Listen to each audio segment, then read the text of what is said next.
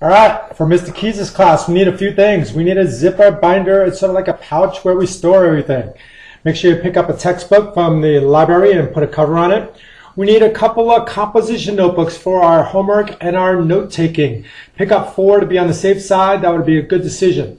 Um, what else do we need? We need some legal pads. So the legal pads are 8 by 5, not any size you want. Make sure you're looking for the 8 by 5. It's very common. And we take all of our quizzes on those legal pads 8 by 5. For our geometry students, we need a compass and a ruler, and we like to have these metal washers uh, for drawing some nice neat circles. What else does everyone need? We need some pens and pencils. Everyone needs some dry erase markers.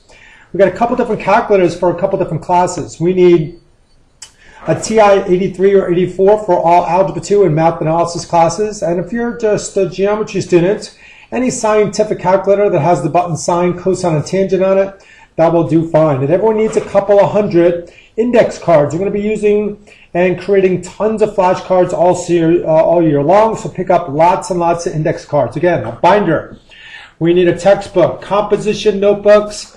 We need uh, legal pads, ruler, compass, and some washers, pens, pencils. We need some dry erase markers, calculator, and some index cards. All right, make sure you get all those. Thanks a lot.